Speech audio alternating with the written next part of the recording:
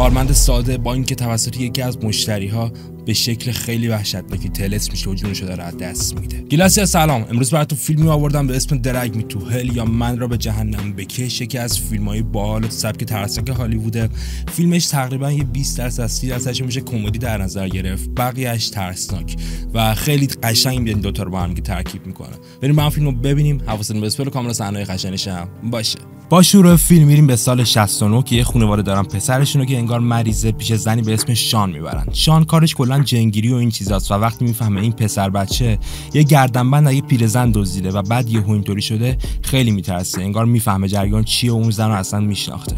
مراسم رو شروع می‌کنه اما متاسفانه نتیجهش بده و یه رفع همه جا به هم میریزه. پسر بچه هم به شکل وحشتناکی به زمینی شبیه جهنم میره و گم میشه.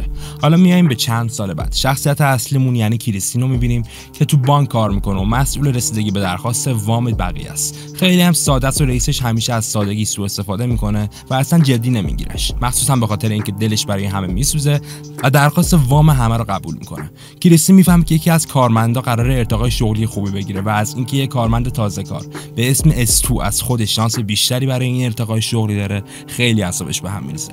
با دوست پسر کریستین یعنی کلی هم آشنا میشیم که استاد دانشگاه و عاشق جمع کردن کلکسیون سکه است. کریستین هم میره پیشش و یه سکه قدیمی که از بانک پیدا کرده رو بهش میده و وقتی می‌فهمه که کلی یه شام خانوادگی ترتیب داده تا این دختر رو به پدر مادرش معرفی کنه یکم استرس می‌گیره. مخصوصا وقتی که می‌فهمه مادر کلی ازش خوشش نمیاد و فکر می‌کنه چون این دختر تو مزرعه بزرگ شده بی کلاسه.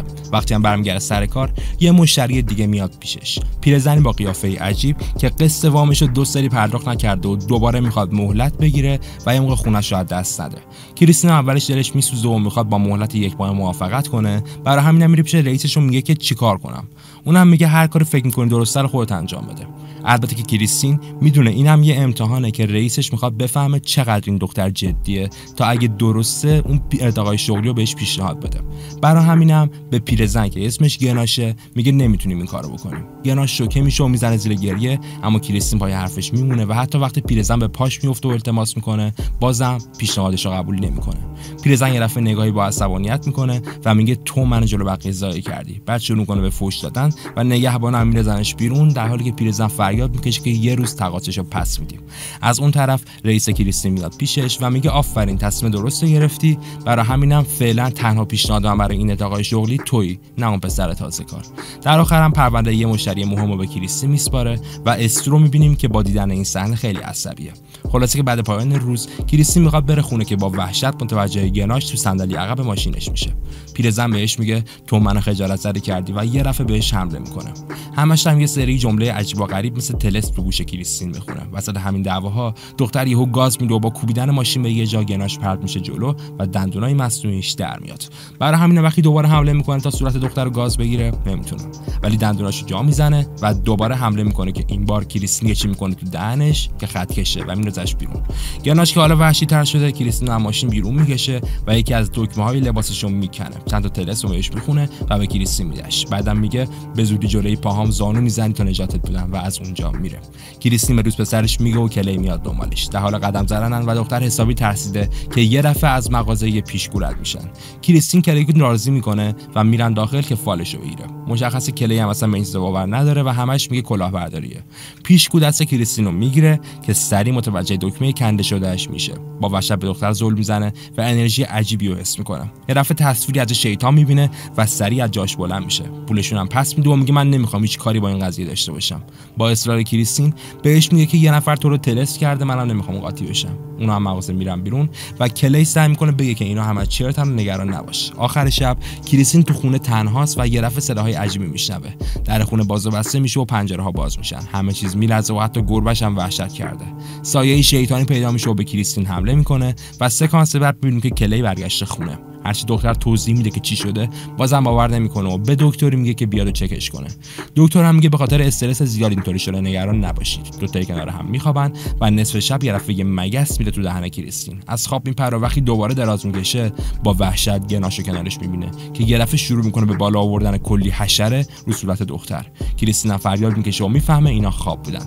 کلی میگه چی شده و دختر میگه هر کاری می‌کردم نمی‌تونستم بیدار شم. روز کاری بعدی می‌رسه و همکار کریستین یعنی استو میاد و ازش می‌خواد که چند تا چیز رو بهش یاد بده.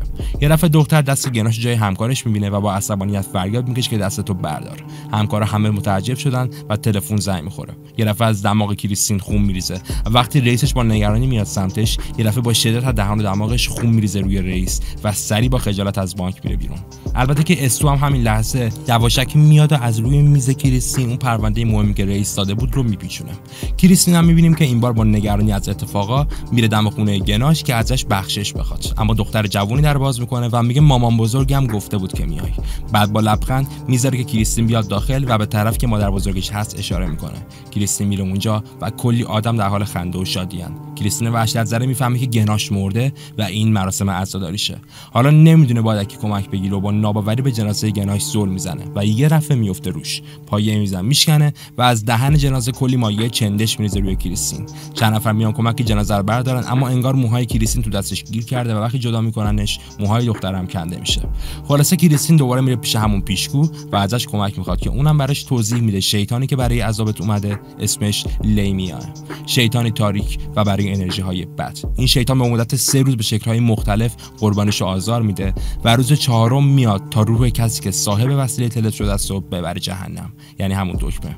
بعدم میگه واقعا راه خاصی برای دفعش بلد نیستم ولی اکثر شیاطین وقتی یه چیزی رو قربانی کنی ولت می‌کنن. مشخصه کریستین اصلا حاضر نیست این کارو کنه و پیشگو بهش کتاب مربوطه رو میده و میگه وقتی اون بیاد سراغت کارایی می‌کنی که اصلا هیچ وقت فکرش هم نمی‌کردی. پس نگران نباش.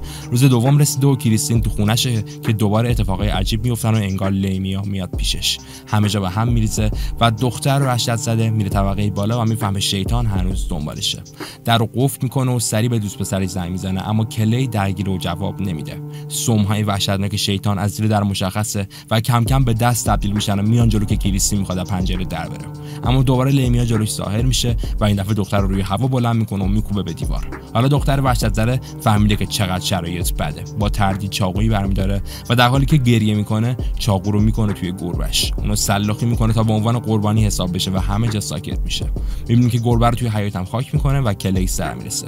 خونه رو لباس دختر می‌بینه و اونم به دروغ میگه رب نگران نباش. کلی میگه به خاطر این درگیری های فکری فکر کنم بهتره شام با پدر و مادرم عقب بندازیم. اما کریستین میگه حالم خوبه. بعدا لباس قشنگی میپوشه و دوتایی به خونه پدر مادر کلی میرن. مشخصه که کریستین فکر می‌کنه با این قربانی که کرده دیگه شیطان ولش کرده. وقتی می‌رسن رفتار پدر کلی خوبه اما مادرش با دختر بد برخورد می‌کنه و از کیکی که پخته بد میگه. سر میز شام بازم همین رفتار ادامه داره و هرچی کریستین سعی می‌کنه موفقیتاش بگه مادر کلی مسخرش می‌کنه. تا وقتی که کریستین از خانواده‌اش تعریف می‌کنه و میگه که به خاطر پدر دائم الخمرم زندگی بدی داشتم و هیچ وقت نتونستم تحملش کنم. مادر کلی رفتارش عوض میشه و میگه پدر منم همینطوری بود اما هیچ وقت جرئت نداشتم تو روش وایسم. و مشخصه تو خیلی دختر قوی هستی که اینقدر راحت در موردش حرف بزنی. خلاصه که رابطه‌ش سر همین قضیه خوب میشه و میخندن و کیک پخته شده توسط کریستین هم می‌خورن. یه دفعه دختر توی کیک جلوش یه چشم وحشتناک می‌بینه که شبیه همون پیرزن یعنی گناشه. با عصبانیت چنگال فرو می‌کنه که مایه حال به همزن تو بشقابش پخش میشه. صدای لیمی هم دوباره داره از اتاق کناری به گوش می‌رسه اما هیچ کس دیگه ای نمیشنوه. حالا دو خیلی حواس کریستین پرت شده و به زور از کیکش می‌خوره چون حالش به هم خورده و یه دفعه انگار تو گلوش چیزی میفته تو وحشت بقیه از دهنش مگس بیرون میاد و همه کیک جلوشون رو میندازن دور. کریستین رو به در اتاق کناری فریاد می‌کشه خفش رو خستم کردی. حالا همه بهش زول می‌زنن و دختر خونه می‌زنه بیرون. مادر کلی هم بهش میگه ولش کن دیوونه است می‌خواد بری دنبالش. کریستین میره دنبال همون پیشگو و با عصبانیت میگه من گربمو کشتم اما باز شیطان ولم نکرده. چرا دروغ گفتی؟ پیشگو هم میگه پس خیلی قوی تر از این حرف هست. تنها یه نفره که می‌تونه کمکت کنه. یکی از همکارامه و فقط فردا وقت داری بری پیشش و الی روز چهارم شیطان روحتو می‌بره. کریستین دودل مخصوصا وقتی می‌فهمه دوست پیشگو ده هزار دلار برای این کار پول می‌خواد. اما در آخر قبول می‌کنه. روز بعدی میشه و کریستین سعی می‌کنه از رئیسش حقوق چند ماهو بگیره و اونم با عصبانیت میگه مشتری مهمی که بهت دادم از دست رفته. ممکنه به زودی کل بانک ورشکست شه به خاطر کار تو. اصلا معلوم نیست پرونده که بهت دادم و چیکار کردیم. مشخص پولی هم بهش نمیده. کریستین با ترس بیشتر به خونه خودش میاد و سعی می‌کنه لوازم بفروشه تا پول در بیاره. تو زیر زمین و دوباره روح گناش کنارش ظاهر میشه. دفعه دستش تا تهم کنه تو دهن کریستین و بعد مقابله کردن دختر ناپدید میشه. لوازمش هم میفروشه اما کلا نزدیک 4000 دلار پول در میاره و ناراحته. همین لحظه دوست پسرش میاد به دیدنش و بهش میگه من به هیچ کدوم این چیزا باور ندارم. اما فهمیدم که پول لازم داری و به پیشگو اون 10000 دلار رو دادم. اگه فکر می‌کنی این کار حالتو تو خوب می‌کنه من پشتتم و کریستین هم خوشحال میشه. بعدم همراه کلی به همون آدرس دوست پیشگو میرن که همون خونه اول فیلمه. اون زن جنگیری که دیدیم یعنی شان. حالا پیر شده و هنوزم کارش همینه.